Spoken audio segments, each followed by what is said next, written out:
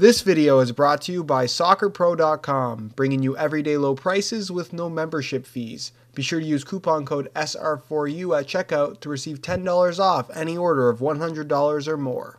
Hey guys, Josh from SoccerReviewsForYou.com, bringing you my review plus on-feet video of the Adidas X15.1 in the white and metallic silver colorway. Now inside the box they do include a string bag to go along with the shoes themselves. The string bag is black in color with neon yellow strings. It features neon yellow and kind of like an orange color paint splattered across the entire front, your X logo in white in the middle, and your Adidas football branding on the bottom with the back of the bag being left completely blank. Um, other than that, all you're going to find inside the box, as you guys can see, are the shoes themselves. So we'll get these guys out of the box really quickly and we'll take a closer look at what I think is a really, really good looking colorway of the X15.1. So in today's video, we are of course going to take a closer detailed look at the colorway itself. We're going to talk tech specs, performance features, take a look at the weight of these things, as well as talk about how they fit and feel on feet. So if you are interested in learning more about this particular colorway of the X15.1, please stick around and watch the entire video. If you're interested in a pair of these for yourself, be sure to check out the review page on my website. That'll be the very first link down below in the description of this video. On that page, you'll find buy it now links with exclusive SR4U coupon codes where you'll be able to pick these guys up below their normal $220 retail price. So again, if you're interested in a pair, first link down below, go ahead and check it out. And with that being said, let's get right into the review. To start things off, let's take a closer look at the colorway. Now, as you guys can see, these things are a very bright white with some metallic silver and black accents now, one thing that people always seem to ask me whenever I feature a white shoe is will they get dirty? And the simple answer to that question is yes. White is fairly difficult to keep clean. It shows dirt and grass tends to stain it. Because the sole plate is mostly white in color, that plastic that plastic's going to get stained pretty easily. But as far as the upper is concerned, there isn't actually a lot of stitching on the upper, which is normally what stains permanently on a white shoe. So if you do keep up with cleaning the upper, it should remain white uh, fairly well. You may get a little bit of staining here around the edge of the sole plate, which is perfectly normal.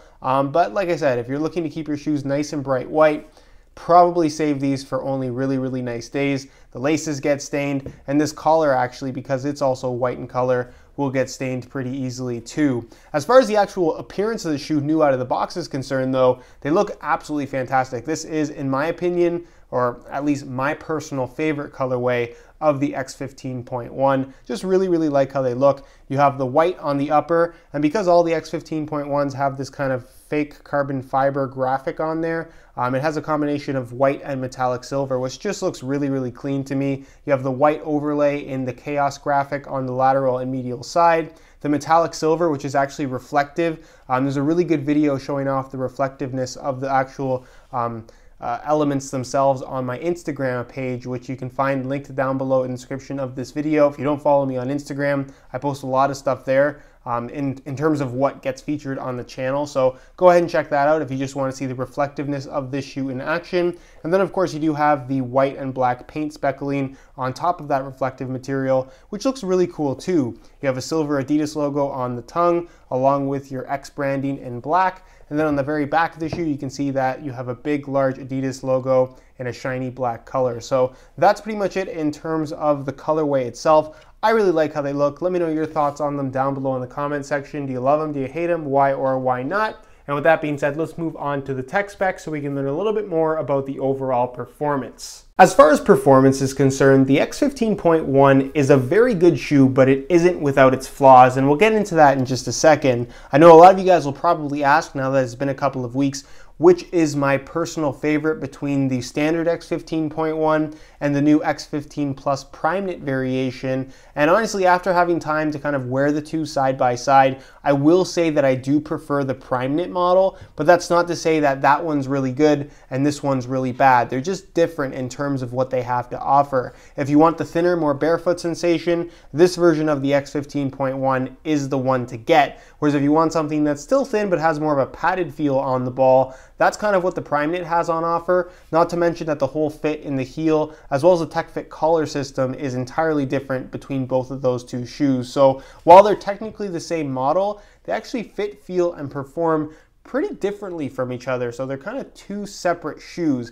I really do feel like the Primeknit variation better utilizes the elements that have been incorporated in this X design. But again, it's really down to personal preference and really what you're looking for from your uh, Adidas X shoes um, on whether or not you should go for the standard version or pay the little bit extra or the a lot extra, I should say, for the Primeknit variation.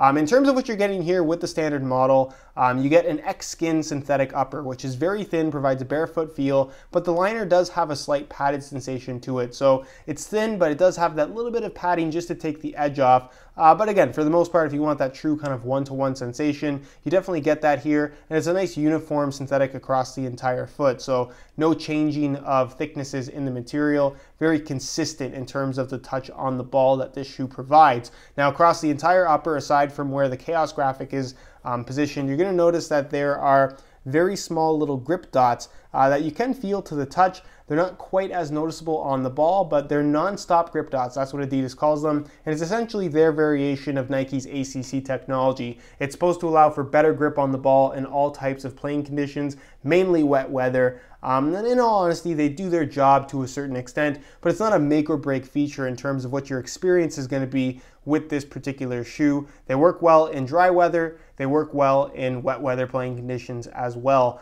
Um, as far as the rest of the upper is concerned, you're going to find this Chaos graphic that is fairly controversial in terms of overall appearance, but it does serve a purpose as well. It's an extra layer of firmer material that doesn't really have any stretch to it because the standard X skin is actually pretty soft and flexible despite being very thin. You can see it runs through the lateral medial side of the midfoot from the base of the sole into the lacing system and then around the edge of the toe and forefoot area as well. It really does a good job of stiffening those areas of the upper and just creating a nice locked in sensation when you pull the laces tight. As thin and soft and flexible as the upper actually is, when you are making those quick cuts and changes of direction, there's very little movement in the upper, no rollover, and you just get a nice responsive feel, which is kind of what you're looking for from this style of a soccer shoe. The laces run through the middle, as you guys can see. It does feature an actual tongue.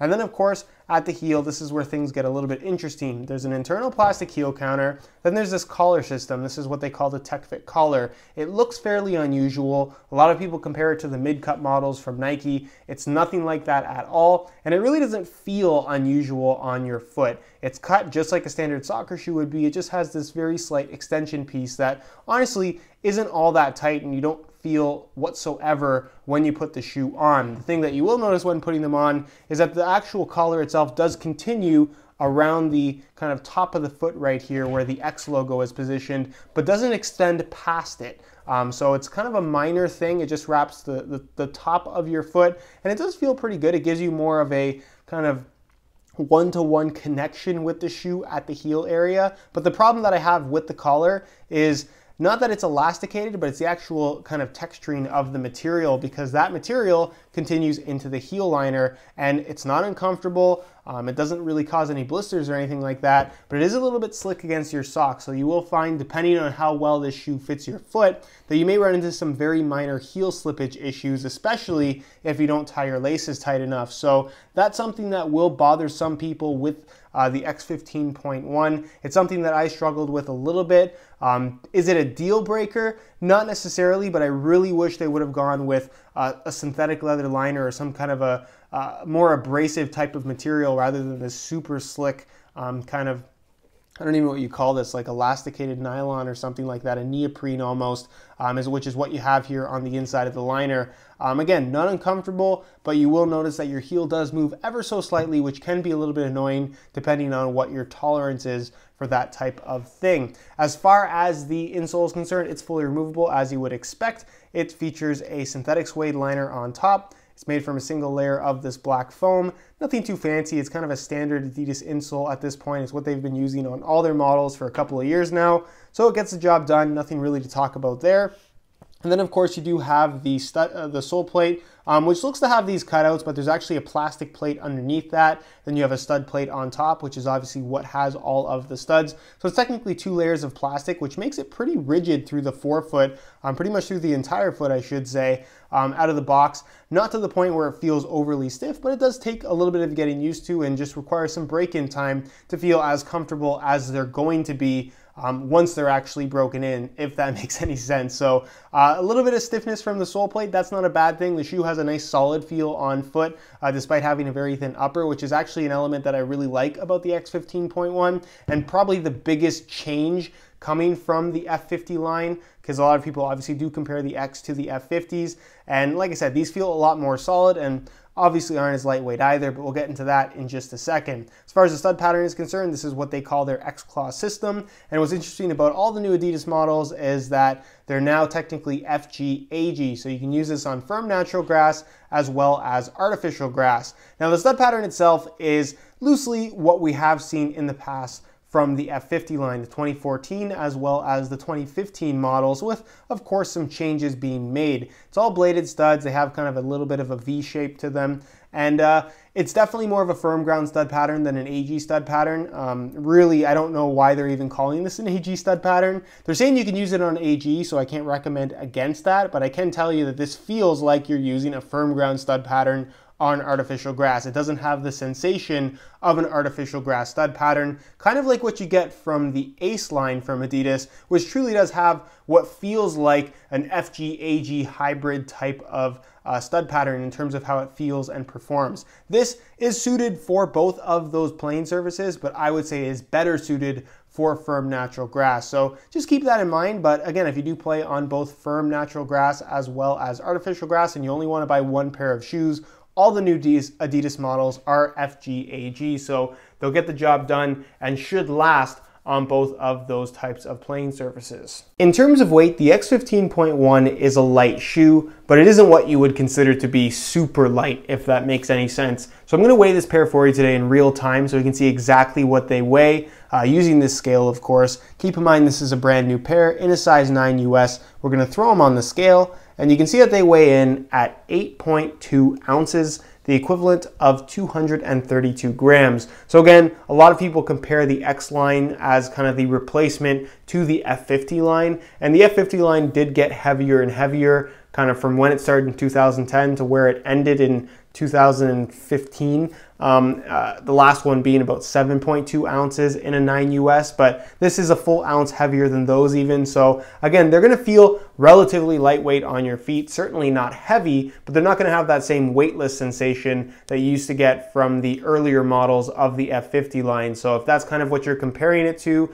these are gonna feel quite a bit different, um, which again is not a bad thing, but uh, something to take into consideration if you are looking for that ultra lightweight feel because this just does not provide that. All right, so here is a look at the X15.1s on feet. On my left foot, I have the stock white laces that come with the shoes. And on my right foot, I have a pair of gray camo SR4U replacement laces. If you're interested in a pair of replacement laces for yourself, the website to go to is www.sr4ulaces.com. You find a direct link to that website down below in the description of this video. Now in terms of how these things fit and feel on feet, they're pretty comfortable from right out of the box. Being that it is a thin synthetic shoe, it does have a tighter fit, which is kind of what you might expect. Um, it fits really snug through the forefoot toe box and midfoot area, but not uncomfortably tight. Doesn't feel restrictive in any way at all. And like I mentioned earlier in the video, the X-Skin upper is surprisingly soft and flexible for being as thin as it is. The only issue I have regarding the fit of this shoe comes in the heel area. I like how the Tech Fit collar wraps the top of your foot there. Feels really, really nice, but the heel liner, like I said, is just a little bit too slick for my liking. You're gonna find that even if you tie the shoes really, really tight, there's just a very slight amount of heel lift every time you lift your foot or lift your heels, I should say. Um, and it's not something, again, that's detrimental to the performance of the shoe. Um, it doesn't cause any discomfort or rubbing or blistering or anything like that just because of how soft that material actually is, but it is something that you'll notice and it never seems to really go away. Can you help this with something like Trusox or something like that? Yes, um, and that can, for some people, completely eliminate it, but uh, it's just something that you have to keep in mind if you don't have the opportunity to try these on prior to purchasing them, is you may have some issues with heel slippage depending on how well these shoes fit your foot. So just keep that in mind. Again, it's not detrimental to the performance of the shoe, but it is a characteristic, a common characteristic, I should say, that people do have with the X15.1. As far as width is concerned, um, the midfoot area is not going to stretch because it is well reinforced by this X cage. So the way these shoes fit from right out of the box is the way they're going to fit for their entire lifespan. They'll fit most people um, they're wider than shoes like a Nike Mercurial Vapor 10 or something like that, but it certainly isn't exceptionally wide. So if you have really wide feet, probably not the best option for you. In regards to sizing, I'm wearing my usual size 9 US here, and the fit and the length is absolutely perfect. So if you are looking to order a pair of these for yourself, I would strongly recommend going true to size in order to achieve the best possible fit. All right, guys, that is it for my review of the white and metallic silver Adidas X15.1. Again, if you're interested in more info on this shoe, be sure to check out the review page on my website. That'll be the very first link down below in the description of this video. On that page, you'll find buy it now links with exclusive SR4U coupon codes that allow you to pick these up below their normal $220 retail price, as well as high quality images that I took myself that'll give you a better idea as to how these actually do look in person. If you have any questions at all regarding the X15.1, leave them down below in the comment section. I definitely will get an answer out to you. If you enjoyed today's video, found it helpful and informative, be sure to support it with a like. Subscribe if you haven't already for daily videos on all the latest and greatest soccer gear. You can find all my social media information down below in the description as well. And other than that, guys, hope you enjoyed today's video. And as always, thanks for watching.